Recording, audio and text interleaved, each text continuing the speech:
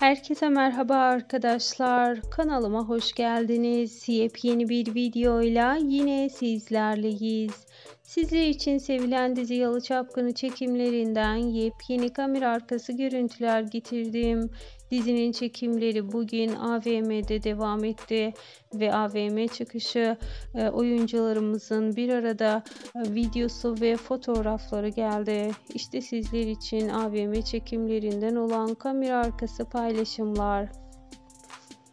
E, dizinin oyuncuları Mert Ramazan Demir ve Afra Saraçoğlu birlikte setteydi ve arabada olan görüntüleri hayranlarını sevindirdi. Anlaşılan Suna, Abidin, Ferit ve Seyran birlikte AVM'ye gelmişler.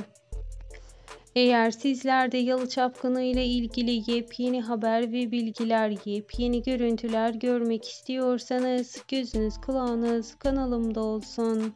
Şimdilik ise benden bu kadar arkadaşlar. Bir sonraki videolarda görüşmek üzere. Hoşçakalın.